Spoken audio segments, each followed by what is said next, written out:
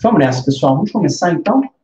Essa live, ela, ela é relacionada a um dos, um dos principais mitos aí, né, que o pessoal, o pessoal meio que que tem em relação a aprender, né? Tem muita gente que acha que, ah, eu tenho 60, 70, 50 anos, será que eu vou conseguir aprender a tocar violão? Ou vou conseguir aprender a tocar guitarra? Baixo, bateria, teclado, piano, né? Tem vários alunos de piano também. E é um mito que eu gostaria de conversar com vocês e passar um pouco o meu ponto de vista. Eu, aparentemente, não tenho 40 anos, né? Então, assim, eu não seria meio que a pessoa que, que, que aprendeu a tocar após os 40, ok? Mas, assim, eu tenho muitos alunos, né?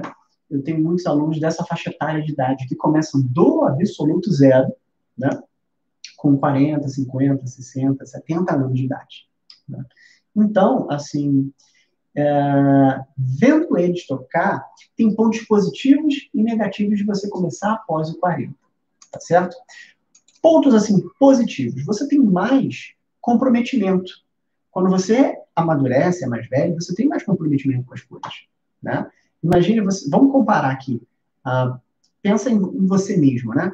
É, eu vou pensar em mim mesmo, quando eu tinha, sei lá, 12 anos de idade, para hoje, na casa dos 30, né, eu tenho, eu, eu, entendo muito mais sobre a vida e tudo mais, sobre como né, desenvolver uma habilidade de forma ah, mais rápida, né, ah, de forma mais objetiva em termos financeiros também, né, de forma mais barata e aproveitosa, né, então é, é, é curioso que quando você envelhece, você ganha mais expertise, né? Você consegue se concentrar mais, ter mais foco. Completamente o contrário de quando você tem 12 anos, 13 anos de idade. Né? Então, assim, aprender após os 40 é possível? Claro que é. Né? Se a gente for parar para pensar, maior parte dos profissionais em diversas áreas, né? medicina, engenharia, né? advogados, né? administradores e por aí vai, eles alcançam aí o, o sucesso ou fazem a parte de especialização, né, em desenvolver aquele ponto específico do que eles querem se aprofundar na carreira após os 40, após os 35, né? Isso não quer dizer que, ah, se eles fossem fazer no início da faculdade seria melhor ou pior. Tem lá o seu lado bom e o lado ruim. Mas, assim, só porque você chegou aos 40 anos, né, aos 35, aos 55, não quer dizer que o seu cérebro está enferrujado, né? Obviamente, você perde um pouco da, da sua memória, você não tem a cabeça que tinha antes, né, de conseguir absorver tudo de forma mais fácil. Hoje em dia, eu, eu noto que de vez em quando eu tenho uma coisa para fazer, eu me esqueço, dá aquele branco, sabe? Putz, o que, que era mesmo? Aí depois é, volta, coisa que eu não tinha antigamente. Mas hoje em dia, é, assim, o reflexo é um pouco, não é como era de antigamente também, quando eu tinha 15 anos de idade, mas hoje em dia eu ganho pelo fator de você ter, né, mais disciplina, mais autocontrole, foco, atenção. E acredite, isso é muito mais importante do que você ter um cérebro esponja que aprende tudo rápido ou não. Né? Porque o fator de aprendizado é, vai muito da, da, da disciplina da pessoa, dela se esforçar, dela realmente sentar, estudar aquele conteúdo, né, desenvolver aquele conteúdo, botar aquilo em prática, entender a teoria. Então, isso, isso é bem curioso. Por exemplo, Vamos citar aqui alguns alunos. Deixa eu ver quem tem mais ou menos 40 anos. Ronaldo, sim, Ronaldo, meu aluno Ronaldo de teclado, ele tem 40 anos, por volta dos 40, entre os seus 40 e 50. E eu comecei com ele do zero no teclado, né? Do absoluto zero. E vou ser sincero com você, o Ronaldo, ele, ele se você for eu comparando aqui, ele com um aluno mais novo que começou do teclado do absoluto zero, diferença nenhuma. Sinceramente, em termos de prática de tocar, diferença nenhuma. Os dois evoluíram assim, na mesma forma. Obviamente, um tinha mais facilidade em uma coisa, outro tinha mais uh, facilidade em outra, como todo mundo, né? Mas os dois desenvolveram a parte de repertório, de tocabilidade normal, né? Depois o Ronaldo até passou para o violão, né? Outra coisa. Ele, ele ficou mais ou menos uns seis, sete meses, né? No teclado, e agora ele está no violão já há uns 3, 4 meses. E está conseguindo aprender sem problema também. Um instrumento diferente das teclas, né? mas ele está mandando bem nos dois. Obviamente, tem alunos que têm um pouco mais de dificuldade. né? Ah, vamos citar outro caso aqui. Eu tenho um aluno meu que ele, quantos anos ele tem? Ele tem por volta aí dos seus 73 anos, ele é médico tudo mais, pô, está aposentado, né, exerceu a medicina por um bom tempo, e hoje ele está aposentado e ele está aprendendo a tocar violão, né? No início, ele achou, sentiu um pouco mais de dificuldade, né? Ele mesmo falou, ah, eu pensei que fosse mais fácil e tal, mas isso também varia um pouco de pessoa para pessoa, né? Eu, por exemplo, deixa eu dar um exemplo da minha pessoa, o Gabriel. Eu sempre achei surf sensacional. Achei bonito, né? Achei legal, uma coisa bacana. Então, teve uns verões aí atrás que foi um verão de que ano? Tem um tempo já. Acho que foi 2000 e... 2015. Acho que foi 2015. Eu fiz três meses, quase três meses de aula de surf né, no verão. Janeiro, fevereiro e março. E eu vou te falar, eu peguei quatro ondas, eu achei mega difícil. Eu descobri que, um, eu tenho ter, isso terrível para equilíbrio, né? O meu equilíbrio é muito ruim. Né? É uma coisa que se desenvolve? Óbvio que é, né? Mas eu tinha dificuldade com isso. Ah, eu, eu tenho ojeriza, descobri isso. A, a água gelada, você pode parecer que não, mas vai para a praia às 8 horas da manhã no dia de domingo e tenta entrar naquela água gelada. O, o músculo dói, você não consegue se mexer. Era complicado por isso, né? Ah, mas o que? É, acho que era esses, basicamente esses meus dois problemas, né? Isso é engraçado falar isso. Mas assim, eu consegui pegar mais quatro, cinco ondas nesses três meses, né? Mas eu achei bem difícil, bem difícil mesmo. Você vê que eu tinha, devia ter aí 2015, devia ter uns 25 anos, né? E tinha uma galera lá, bem mais velha, surfando e mandando muito bem, né? De 50, 60 anos, com preparo físico também muito melhor do que o meu, né? Então, assim, é uma coisa que você desenvolve. Tem coisas que você tem dificuldade e outras não. Aí depois, eu fui fazer surf, esse surf que eu, me referia era o surf em pé, surf normal. Aí depois eu fui fazer o bodyboard, que é o surf deitado. E, nossa, eu adorei, mandei bem pra caramba, né? Foi bem mais tranquilo em relação à parte da temperatura de água. Eu fiz em outra praia, em outro horário, então isso já melhorava um pouco também, né? Mas é aquilo, você tem que encontrar, ver o que você tem facilidade e dificuldade. Mas acredito que uh, todo mundo, independente da idade, se você tem cinco anos, acredite, a gente trabalha com aulas uh, para crianças de musicalização infantil a partir de cinco anos de idade. Se você tem 20, 30, 55 anos, como o Beto Opaleiro aí falou, ele está falando que é velho. Pô, 55 anos, Beto. Você não é velho, acredite. Eu tenho muitos alunos dessa idade, começando do absoluto zero dessa idade. Você tem 70, já tive alunos de 82 anos. Sério. E, ó, de bateria, hein? de bateria. Você exige um preparo físico para tocar. E o cara conseguiu tocar. Ele aprendeu. Mandou bem pra caramba, Caio. Sensacional. Ah, vocês estão enviando perguntas, né? Daqui a pouco eu vou responder as perguntas, podem enviar, ok? No Instagram, no Facebook, no, no YouTube. Daqui a pouquinho eu vou falar. Mas, como eu estava falando, uh, cada pessoa tem aí o seu nível de facilidade e dificuldade. Vou compartilhar um, uma, uma dificuldade que eu sempre tive, desde o início, musicalmente falando. Partitura, né? Eu fui muito, sou até hoje muito devagar com partitura, né? Eu preciso estudar muito mais do que uma outra pessoa. Mas isso é uma dificuldade minha própria, né? Não necessariamente a idade vai te influenciar isso, tá certo? Então, na minha opinião, assim, quando você é mais velho, você tem muito mais uh, disciplina, foco, atenção para cumprir aqueles objetivos. Eu acho isso extremamente importante. Né? Vamos ver o que o Beto falou. Uh, sabe a grande dificuldade que eu vejo em todos os canais que ensinam música, violão e guitarra? Falta de método e organização. Realmente, realmente. A parte de metodologia e organização nos estúdios, cara, é fundamental, né? Exatamente. E quando você é mais velho, você tem um pouco mais disso, né? Você sabe, você já entendeu ao longo da sua vida que você precisa de um beabá, de um passo a passo, para conseguir aprender aquilo. Senão, você dança, né? Você precisa de uma organização, você precisa de todo santo dia, naquele horário, mesmo que seja pouquinho, meia hora, 20 minutos, eu vou sentar, vou praticar, vou focar exatamente naquilo, esquecer celular, esquecer internet e né, praticar aquilo da forma, da, de forma consistente, né? Então, então acho quando você é mais velho, isso, isso já, já é interessante. E assim, uma coisa que eu vou estar falando é, praticamente o que ensinam é para aqueles que já têm algum conhecimento e prática. Então, ter esse passo a passo, esse beabá, é fundamental, né? Isso é até uma das coisas que eu acho que me desmotivou a aprender o surf em pé, né? É, as aulas lá eram em grupo, na praia, era mais ou menos umas 20, 25 pessoas, de todas as idades que você pode imaginar. Tinha desde criancinha, jovens, adultos, adolescentes, até senhores mais velhos e tal, como eu falei, de 60 anos e tudo mais. E uma coisa que eu percebi é que eles não tinham tanto foco, né?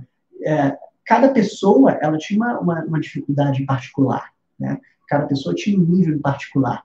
E eles não davam tanta atenção. Era uma aula, assim, meio que padrão para todo mundo, independente se você é do iniciante, do médio ou avançado. Isso acabava desmotivando um pouco, né? Acredito que isso também desmotive muita gente em relação à música, né? Ter um conteúdo mastigado desde o início e, e evoluindo, tá certo? Assim, até uma coisa que eu, Gabriel, utilizo nas minhas aulas, vou abrir isso para vocês, né? Uma das técnicas de ensino que eu utilizo é a seguinte. Por exemplo, é, eu sempre trabalho repertório com o aluno. Repertório seria o quê? Músicas. Músicas que o aluno uh, vai tocar no violão, na guitarra, no teclado, no baixo, seja qual instrumento eu estou ensinando na hora, né? E eu sempre trabalho esse repertório, seja pegando uma música mais fácil, uma aula, depois que esse aluno domina essa música mais fácil, eu vou para uma mais difícil.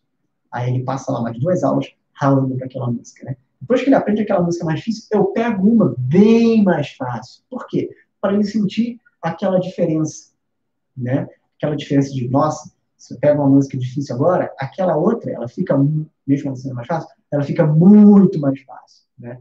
Isso é, é curioso que isso motiva ao aluno, né? Também a querer aprender mais. Uma outra técnica que eu utilizo de estudo é o seguinte: vamos supor que eu tenha um solo, um fraseado, uma melodia, né? difícil, tecnicamente falando, para passar naquela aula, ou uma progressão de acorde. Então, eu começo aquela melodia de forma mais simples, mais mastigada, resumidazinha, simplificada. Né? Por quê? Depois que você.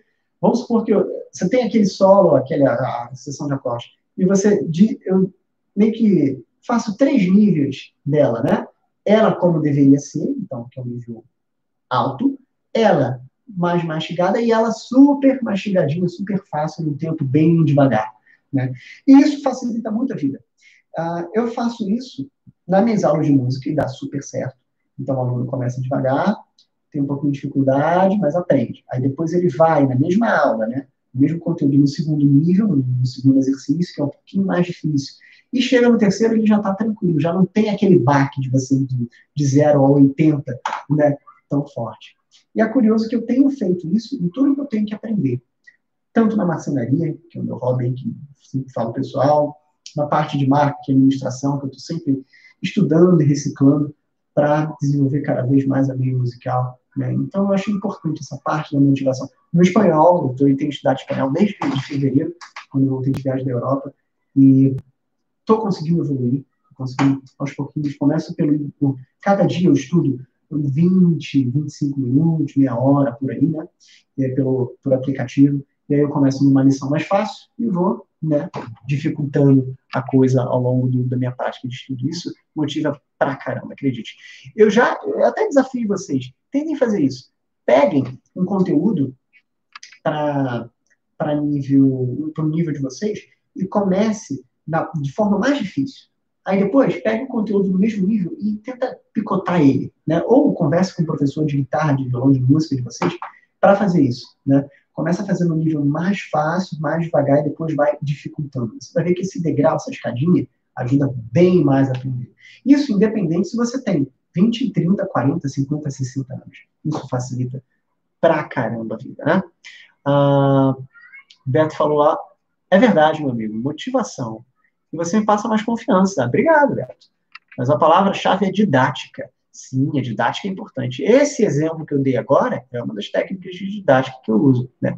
E isso ajuda pra caramba, né? Como eu falei, não só aprender música, mas aprender qualquer coisa, né? Isso é importantíssimo. E outra coisa em relação à didática também, Beto, que depende muito da pessoa, né? Também, do aluno. Tem alunos que se adaptam numa didática melhor, outros com uma outra didática. Então, isso varia muito de pessoa para pessoa, né? Quem nunca teve aquele professor cara gênio, sensacional, eu tive um assim na faculdade, que você, que ele explicava a coisa e da forma que ele falava, você ficava com grande, um grande ponto de interrogação na cabeça, né? Sem entender nada. Por mais que o cara tocasse perfeitamente, ou fosse um gênio naquilo que ele estava trabalhando, ele não conseguia te passar aquilo, né? Eu já tive isso, né? Acho que todo mundo já teve esse tipo de professor, né? Música fácil falou. Ah, ele falou: eu tenho mais facilidade em teoria do que em prática. Como é que é? Porque eu não sei. KKKK. ah, é porque você não sabe a, a prática. Então, a teoria, cara, a teoria, ela é mais você sentar e estudar, né? Memorizar, entender aquele contexto e tudo mais. A prática, se a gente, vamos comparar aqui com, sei lá, deixa eu ver aqui, esse que dá para a gente comparar. Direção, não sei se vocês dirigem, né? Habilitação, dirigir carro, tudo mais. Mas quando você está na autoescola, você faz a, aquelas aulas teóricas, né? Que dão muito sono. quem, quem, nunca sofreu nas aulas teóricas da autoescola, né? Ah, que dão bastante sono. E, e tu fica lá e tal, nossa, terrível. Meus olhos pesados, né? É, mas são importantes são extremamente importantes. Você precisa entender como o raio do carro funciona, aquelas 300 mil placas, né? Você precisa aprender sobre o primeiro socorro, você nunca sabe quando vai realmente precisar, né? E, mas quando você senta no carro, por mais que você tenha passado, já feito a prova de teoria, é, teoria musical, né? teoria de tirar a carteira, sentar no carro e dar a partida, cara, completamente diferente. Não tem como só você aprender aquele assunto só na teoria. Você tem que ter esse balanço. Né? É meio que como se fossem duas coisas diferentes. A teoria é uma coisa, a prática é outra. Ah, pelo menos na autoescola, né, na, na parte de direção. Na música, eu não digo que é tão diferente assim, não, certo? Eu acho que a teoria e a prática, elas estão sempre ó, se entrelaçando e uma facilita demais a outra na hora de aprender. E assim, eu, Gabriel, amigo sou suspeito para falar, que já trabalho com música há muito tempo, mas em termos de direção, eu tive muito mais o gap, né, o gap que eu digo, o salto entre dificuldade de entender a parte teórica da direção e parte para a prática, foi muito maior do que a teoria e a prática na música. Muito maior mesmo na direção. Né? Tive muita dificuldade nisso. Até depois de tirar a carteira já, eu tinha dificuldade para caramba de subir ladeira. Não sei se era o problema de vocês. Subir ladeira. Se eu subisse a ladeira, tipo, num trânsitozinho, parasse, para sair com o carro, né? Aquela subida era o problema. Era o problema. Eu morava num prédio que você tinha que dar uma subidinha, aí dar tchau pro porteiro para saber que era você e tu sair de novo. Nossa, era bravo. Era complicado, né? A música fácil falou, eu estudo muito prática na guitarra, tipo ligados, alavancada, bend, stepping, várias outras coisas não relacionadas a essas técnicas. É, então, cara, é, é uma questão também de prática, né? Tempo ao tempo. Eu, por exemplo, eu fiquei três meses no surf em pé, né? Aqui, eu não esqueci o nome agora do, do, do surf, da modalidade de surf em pé. Esqueci mesmo. Mas, assim, eu devia ter ficado mais tempo, seis meses, para pegar o know-how da coisa, né? Até pelo fator de depois que eu fui pro bodyboard, né? Eu peguei muito mais rápido. Porque o bodyboard, eh, você não tinha tanta técnica, você não exigia tanta técnica. Pô, ficar em pé numa prancha, parece moleza, mas que não é. O mar, ele não é flat, como falam, né? O mar, ele não é paradinho, estático. Ele tem ondas, e de vez em quando a onda tá brava, muito brava, né? No bodyboard era um pouco mais fácil para mim. Mas, assim, é, até a, a, experiência que eu peguei no surf em pé me ajudou pra caramba no bodyboard depois que eu passei, né? Então, isso é curioso. Você precisa de tempo, de horas de voo, para você praticar, né, para você evoluir naquela coisa. Então, assim, continua estudando a tua teoria musical, cara. Você está indo bem, é isso aí. Você tem que estudar teoria, mas foca também em prática. Tenta fazer o seguinte, ó, 50% do seu, da sua prática diária, semanal, em teoria, 50% na prática. Ah, Gabriel, eu estou melhor na teoria. Ok, então bota 40% na teoria e 60% na prática. Entendeu? Vai tentando balancear isso, mas é importante que as duas coisas estejam, estejam juntos, né? É até engraçado, mas sabia que nas aulas de bodyboard a gente tem também a, a parte teórica? É, você tem que entender como o mar funciona, como a onda quebra. Você tem que chegar na praia e olhar e ver como é que o mar está quebrando. Onde é que tem valão, onde você não pode entrar, onde tem banco de areia. Cara, o banco de areia ajuda muito o surfista. Assim, pode ajudar ou atrapalhar, depende do ponto de vista, né? Mas se olhar o mar e conseguir identificar, acredite, isso é tudo teoria. Então, a gente também estuda essa parte de aulas teóricas, né? Ah, eu estou falando como se fosse especialista do, do bodyboard, né? Eu, eu fiz um tempo de bodyboard, fiz de que foram, acho que foi um ano e meio, um ano e dois meses de aula de bodyboard. O surf em pé só durou três meses. Mas hoje eu consigo me virar. Eu consigo ir na praia e me virar sem problema. Né? Agora, é engraçado, eu, eu, foco em vários hobbies de tempos em tempos. Eu já tive bodyboard, já tive o luthier, né, que me deu uma base muito grande de marcenaria. Hoje eu tenho a marcenaria, tenho o, o, o espanhol, né? Já tive, ano passado e retrasado, estava pegando pesado na bike, né? Estou querendo voltar. Então, a gente, acho que todo mundo né, tem seus hobbies. O Beto falou, no meu caso, eu não quero só saber tocar um instrumento. Com, com o quê? Com certa, acho que é com certeza, né? Uh, ou bastante desenvoltura, mas conhecer bem o suficiente a parte teórica e técnica. Entendi. E é claro, né, meu amigo, bastante dedicação de quem quer aprender. Exatamente. Então, você, Beto, que falou que quer aprender o que? Desenvolver a parte teórica e técnica, né? Saber tocar legal, né? É o que, é o que a gente sempre quer. Tipo, chegar com os amigos, ah, conhecer um amigo novo, uma pessoa nova, tocar junto com o cara, né? Ah, vamos fazer uma jam aqui, conhece tal música, conhece aquela outra, vamos tocar juntos, né? E espontaneamente, na hora, os dois tocarem, ter aquela conexão musical. Isso é legal pra caramba, né? Tocar em banda, pô, hoje em dia com a internet é muito mais acessível montar banda, acredite, né? Pô, até você tem sites para isso, né? Na minha época tinha um chamado Tô Sem Banda, eu não sei se ainda existe. E minhas primeiras bandas eu montei por ele, né? E era bem legal. Hoje em dia as coisas ficaram muito mais fáceis. Tem até aplicativo disso, não sei se vocês sabem fazer vídeo colaborativo com outras pessoas online, tem aplicativo disso também. Você faz o seu profile e meio que, de acordo com o seu estilo musical, ele meio que conecta com outras pessoas de outros países até, e vocês gravam vídeos colaborativos tocando, cada um a sua parte, acho isso bem bacana. Né?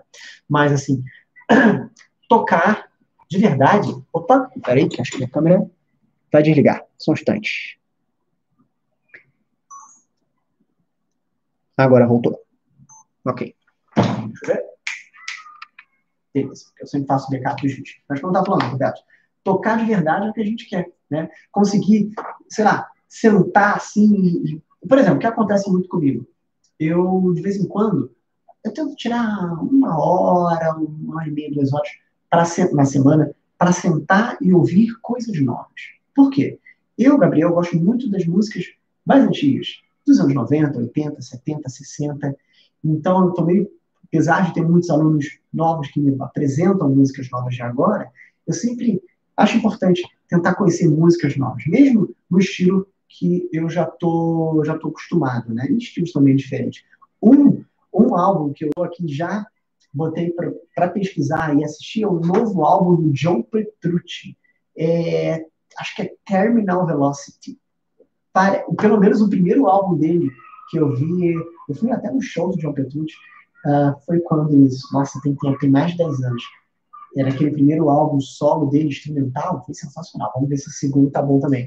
Mas assim, como eu tava falando, é... o que, que eu tava falando? Ah, você sentar e escutar uma música nova, achar aquela música legal e, pô, você poder pegar o violão e ter habilidade suficiente para tocar de ouvido, isso é gostoso pra caramba, isso é muito legal, né? É, até porque músicas novas tu não tem como encontrar a cifra ou a videoaula na internet. Então, se você não tiver um professor particular, então tu tá muito ferrado, você tá 100% por conta própria.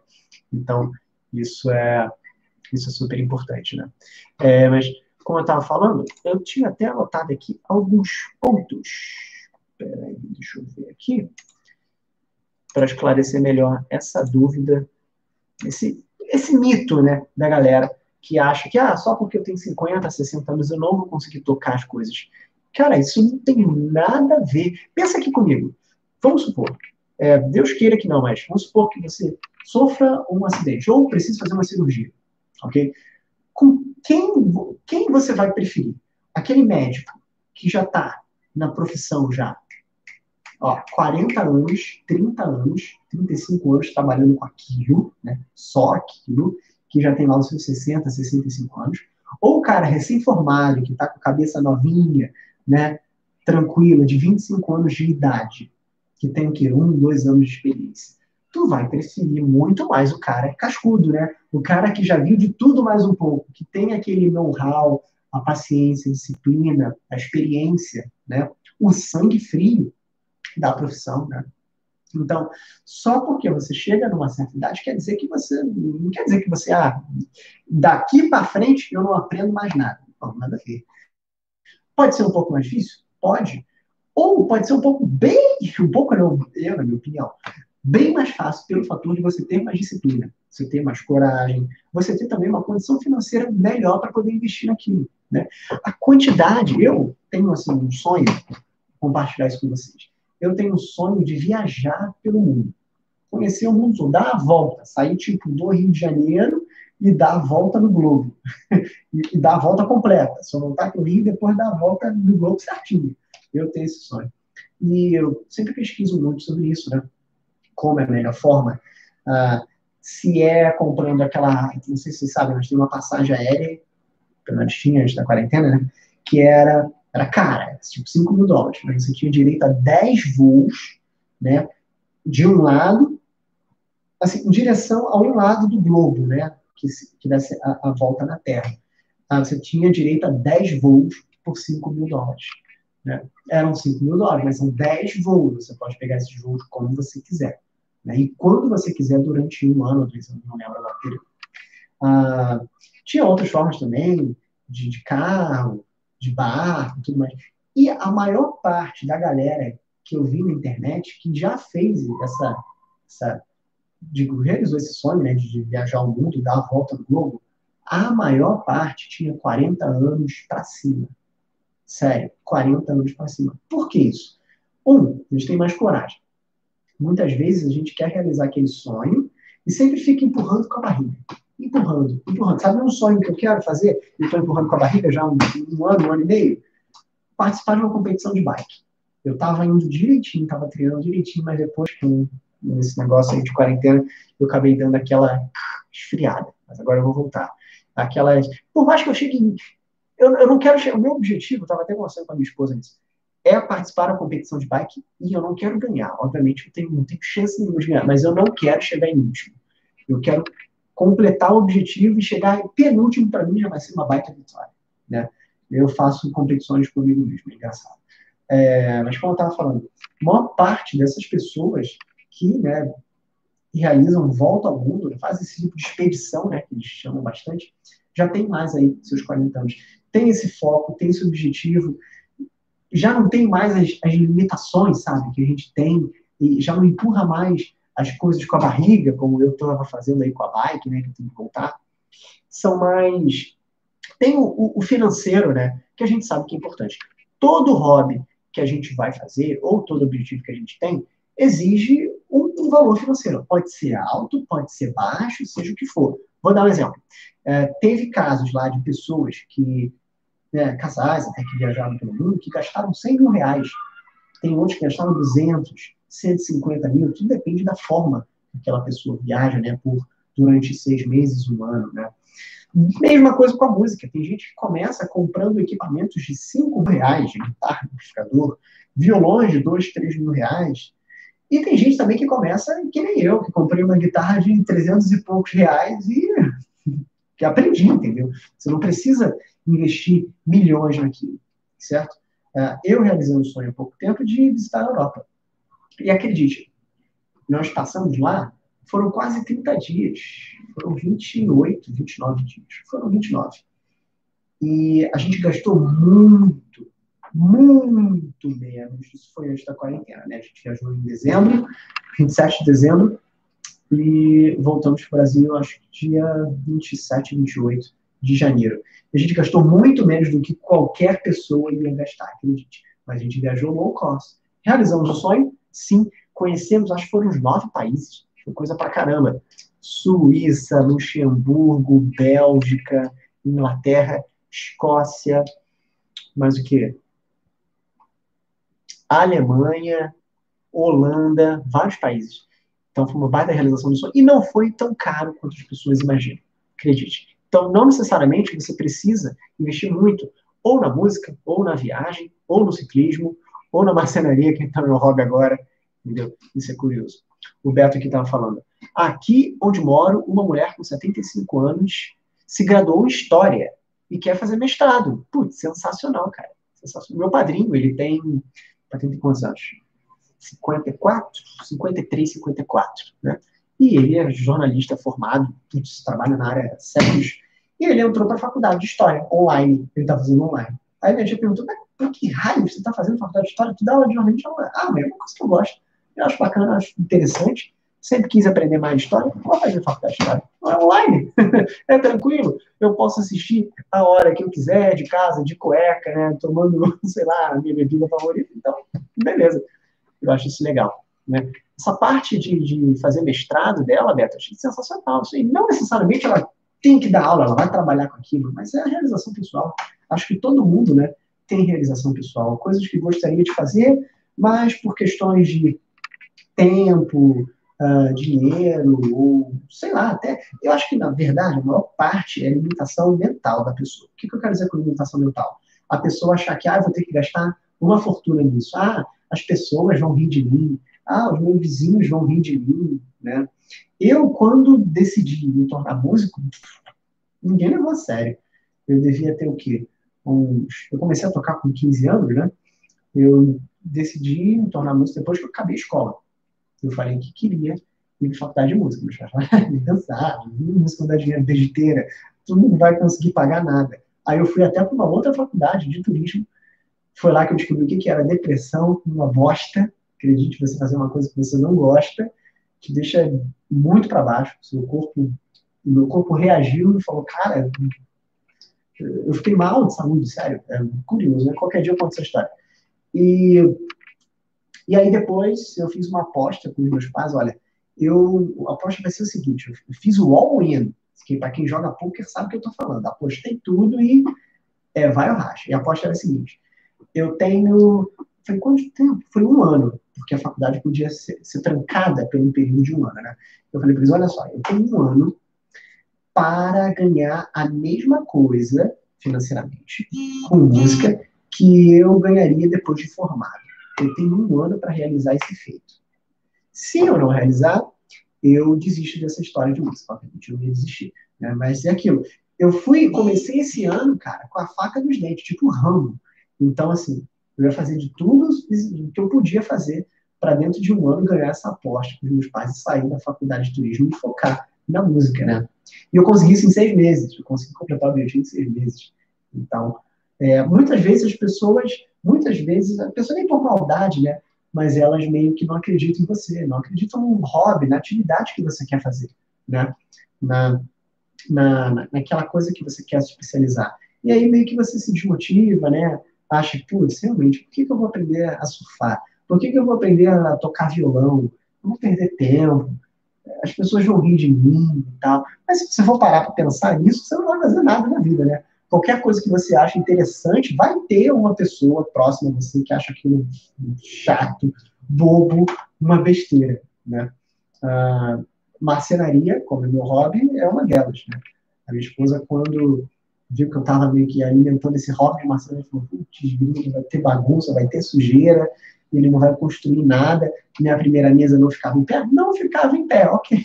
Isso não ajudou a convencer ela. Mas a segunda mesa já ficava em pé. Hoje ela trabalha em home office aqui em casa, com uma mesa de escritório que eu mesmo construí. E ela gosta daquela mesa, porque tem um espaçozinho para ela botar os pés direitinho, é regulada na altura dela, entendeu? Então, depois que você começa a desenvolver, aprender aquele hobby a fundo, né? Você começa a ter mais credibilidade com as pessoas. Aí sim elas vão começar a acreditar mais em você. Então, as pessoas que são mais velhas, assim, mesmo na minha opinião, elas não têm muito o que perder né? Mas sabe como é a vida funciona, sabe que as pessoas vão fazer chacota, que as pessoas não vão acreditar em você, mas o que importa é o que você pensa. Por isso que eu falo, a, a, o divisor de águas para você aprender uma coisa ou não é muito o que está na sua cabeça. Hoje em dia, você consegue aulas de música por um preço acessível, você consegue bastante informação sobre música, guitarra, violão, como é, eu faço aqui, tudo de graça, né? Você consegue aulas de marcenaria por um preço acessível, né? Como eu quero começar a fazer. Uh, você consegue aulas de espanhol no Duolingo, que eu estou aprendendo de graça. Então, o fator financeiro, acredito que não seja mais um problema, mas a limitação, né, da pessoa. Isso que é, que é curioso. É, Alberto falou, antigamente o meu era mais difícil por causa do preconceito da minha própria família. É exatamente o que eu, que eu falei agora, Beto, exatamente. É, as pessoas têm esse, esse preconceito, né? Ah, o cara não vai conseguir aprender a tocar violão. Ah, você quer ser baterista, você vai aprender a tocar baterista, tá de sacanagem, né? Pra quê? Que besteira, vai gastar dinheiro à toa, ficar fazendo barulho. Mas é uma coisa que você gosta. É um hobby, é uma... É, eu uso a marcenaria como uma terapia para mim. Cara, cortar madeira para mim é muito prazeroso. Eu gosto do cheiro daquela coisa, barulho, né? Eu fico de noite antes de dormir vendo vídeos de marcenaria. E minha esposa sempre fala, bota o fone, porque eu odeio esse barulho de cortar madeira. Eu falei, sério, eu adoro isso, é sensacional. Né? É engraçado. É, seu, seu exemplo mostra uma realidade, dando sua opinião alheia. Se a pessoa ficar presa a isso, não vive. Exatamente, Beto, exatamente. Você não pode pensar muito né, na opinião alheia. Você tem que fazer o que você gosta, obviamente, respeitando os outros. Claro, eu não vou cortar madeira às 11, meia-noite, para ligar minha, minha maquita, minha, minha serra tico-tico, fazer um baita barulho. Mas sempre respeitando exatamente os outros. É aquilo. A gente tem que realizar nossos sonhos, né? É, seja ele tocar violão, aprender a tocar guitarra, independente da idade, né? Ah, tocar bateria, sei lá, aprender marcenaria como eu tô, o espanhol, que eu tô já, já tenho que fevereiro, março, abril, maio, junho, julho, agosto, caraca, já estou sete meses estudando espanhol, uau, nem tinha parado para fazer essa conta, né? Até porque é aquilo, daqui a pouco o tempo passa e a gente pode, infelizmente, ir dessa para melhor a qualquer momento, né? Então, complicado. William Marques falou: tenho 43 anos e comprei um violão para aprender a tocar. Legal, William, isso aí. Isso aí. Vai fundo, começa com músicas mais fáceis, ok? Começa com aquelas músicas de dois, três acordes, ou músicas que nem tem acordes, que tem a melodia. Uma que eu gosto muito é Seven Nation Army, do White Stripes. É aquela. Ela é bem facinha. Tem muitas músicas gospel que são tranquilas, de rock, de pop sertanejo também. Né? E vai aprendendo aos poucos. Né? Sempre aquilo. Começa sempre coisinhas fáceis que bem fácil, bem mastigado, para você ir se motivando. É o que eu faço no espanhol. Tem horas que o espanhol tem coisas bem difíceis, flexão de verbo, nossa, cara, tem umas palavras que eu trabalho que eu não consigo pronunciar, mas eu vou aos pouquinhos e consigo. É uma coisa curiosa que eu não falei com vocês. E não é a primeira vez que eu tento aprender espanhol, tá? quando eu tinha meus 19 anos, eu entrei para espanhol. Fiquei seis meses odiei, tinha um saco e não aprendi nada. é, quando tinha 19 anos, pra você ver. Naquela época, eu tinha uma cabeça que absorvia mais coisas, mas eu não tinha disciplina, né? Não ia vontade. Hoje, eu tenho uma cabeça completamente diferente. E eu me dei conta agora há pouco, eu estou há seis meses, sete meses, né? Aprendendo espanhol. E eu acredito que muito melhor do que eu era antigamente, né? Vou ficando por aqui, pessoal. Acho que eu já falei muito. Já deu para entender que sim, dá para você aprender violão, guitarra, baixo, piano, o que for né, marcenaria, o que for, com mais de 40 anos, tá certo? Muito mais que isso com 50, 60 e por aí. Destravando os dedos na guitarra. Gostei do seu apelido, hein? Falou aqui. Acabei de fazer 50 anos, já toco violão, guitarra, o basicão, mas decidi seguir um curso online e evoluir. Boa, cara. Estou registrando minhas aulas no canal. É só, é só tocar no meu nome aqui acessar o canal. Beleza. Destravando os dedos na guitarra. É uma ótima coisa, cara. Você é, é, registrar a sua evolução, né? Isso é bacana, até mesmo para você ver como você está indo, né? É, esse aplicativo que eu uso para o espanhol tem isso também. Você vai tendo as suas conquistas. Isso é bacana. Tá certo, pessoal? Vou ficando por aqui. Muito obrigado. Amanhã temos live nova, então confiram aí o YouTube da Meio Musical, o Facebook da Meio Musical, Instagram é Gabriel Félix Oficial com dois Fs, ok? E e amanhã eu vou divulgar nos grupos a live de amanhã, sempre nesse horário, 9 e 3 da noite, certo? É, se você não faz parte do grupo ainda, entra lá no grupo, no qualquer, nos últimos vídeos né, da Meio Musical, tem o link no grupo do, do Instagram, no Instagram, não, desculpa, no Telegram e no WhatsApp. Tá certo? Vou ficando por aqui. Boa noite a todos. Obrigadão. Um grande abraço.